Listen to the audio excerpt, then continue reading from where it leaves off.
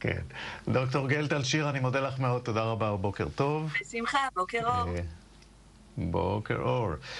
אה, איתנו עכשיו ג'לאל איוב, הוא עיתונאי אה, עצמאי, חבר התנועה הישראלית, ואנחנו איתו כדי לדבר על מה שקורה במגזר הערבי. בוקר טוב לך. בוקר טוב, יעקב. בוקר טוב. תגיד קודם כל ככה, אחרי שקצת שווה, שקע האבק, האם באמת מנסור עבאס הביא איזה בשורה כאן? האם יש אמונה אה, במגזר הערבי שהוא יוכל לממש את הבשורה, אם יש כזו? כן, יש תקווה לפחות שמדובר בשיח אחר, בשינוי של כללי המשחק. אנחנו מדברים לפחות, לפי איך שמנסור עבאס הציג את, ה, את, את משנתו בעצם, שהוא יהיה מוכן לדבר עם כל, אה, עם, עם כל מועמד, ובעצם עם כל מפלגה פוליטית שהיא כשרה בישראל. ולכן יש פה שינוי אה, של כללי המשחק מבחינת החברה הערבית. אה, ומצד שני, יכול להיות שיש פה פנטזיה שלעולם לא תתממש, כי ככל שעובר הזמן אתה רואה שלא בצד הזה ולא בצד הזה, בסופו של דבר יש מי שידבר עם מנסור עבאס על שיתוף פעולה אמיתי. יש וטו בעצם משני הצדדים, ויש מיעוט שאולי יהיה מוכן לקבל את זה.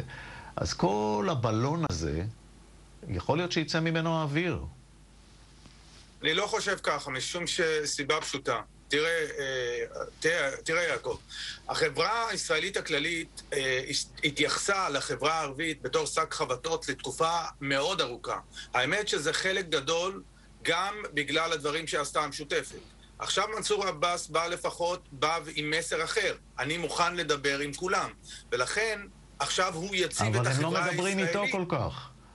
הם, הם אולי טוב, ידברו, בסדר, אבל יותר ש... מדיבורים לא יצא פה. אה, זה בסדר גמור, כי אז, תראה מה שנעשה פה. אנחנו העברנו בעצם, החברה הערבית מעבירה את הכדור למגרש הישראלי. כלומר, גם הרווחנו עוד אחד, עוד דבר מאוד חשוב במערכת הבחירות הזו. אם הסתכלנו על המערכות הבחירות הקודמות, היה כל הזמן נתניהו כביכול מסית נגד החברה הערבית. הפעם אנחנו הוצאנו את נתניהו בעניין הזה מחוץ למשחק, ואם תראה, בגלל הוצאת נתניהו כמסית נגד החברה הערבית מחוץ למשחק, אנחנו לא רק זכינו בזה שכביכול החברה הערבית נכנסה לקונצנזוס בינתיים, הקונצנזוס הזמני הישראלי, הוא גם גרם בעצם למשותפת לקרוס, כי המשותפת בעצם התגלתה במערומיה. אז אני, אני מנסה להבין, אני מנסה להבין ממך האם השמחה לא מוקדמת, איזה נכנסו לקונצנזוס? לממשלת נתניהו עם עבאס כנראה אין סיכוי, כי יש שם שבעה מנדטים של ה... הציונות הדתית שהם לא מוכנים בשום פנים ואופן. בנט וגדעון סער לא מוכנים בשום פנים ואופן, ליברמן עוד לא אמר את דברו. לא נראה לי קונסנזוס. תהיה אכזבה גדולה במגזר הערבי? אני אגיד לך מה, יש לי בעיה עם הגישה הזאת של התקשורת הישראלית, ואני אגיד לך למה. אני כל הזמן קידמתי במהלך שנות, השנות עבודה שלי ברדיו, אני מעל 16 שנים, אה, את העניין של שצריך להידבר עם כל מועמד שיקום. וגם ניסיתי בעצם לקדם את העניין שאנחנו צריכים לבנות קשרים עם החברה הישראלית הכללית. זה שאנחנו יוצאים מנקודת הנחה שאפילו תנועת הציונות הדתית, מי אמר שאנחנו...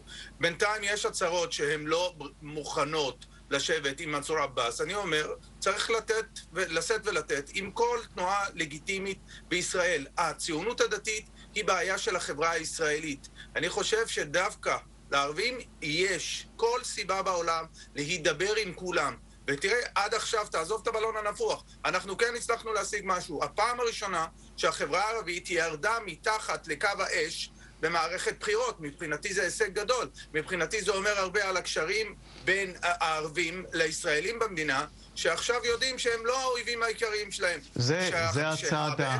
זה חצי הכוס כן. המלאה שאתה רואה. אני רוצה אבל לחזור על השאלה, האם אם בסופו של דבר לא יצא מזה כלום, אם לא יצא מזה כלום, תהיה אכזבה גדולה במגזר הערבי? איך, איך, איך זה יתקבל? אנחנו נצט...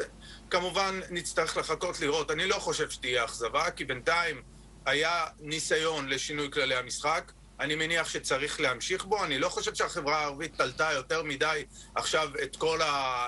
אפשר להגיד, את כל התקוות שלה על מנסור עבאס, אבל לפחות זאת הייתה אמירה, יעקב. אמירה של החברה הערבית, שאנחנו רוצים להיות ישראלים, להיות חלק מישראל, אנחנו כן רוצים אה, להיות חלק מכל ממשלה או קואליציה שתקום, ודי, הפסיק לנו לשבת על האופוזיציה, אה, עם האופוזיציה כל הזמן, ויותר מזה אני אגיד לך, התקשורת הישראלית שהופתעה ממנסור עבאס צריכה גם לעשות חשבון נפש. אולי התקשורת הישראלית פשוט עשתה wishful thinking למה היא רוצה לראות בערבים, שתמיד היו בכיס של המרכז שמאל. הגיע הזמן שהערבים לא יהיו בכיס של אף אחד, וזה הדבר המבורך לטעמי שיצא מזה, ואני לא חושב שתלינו יותר מדי תקוות.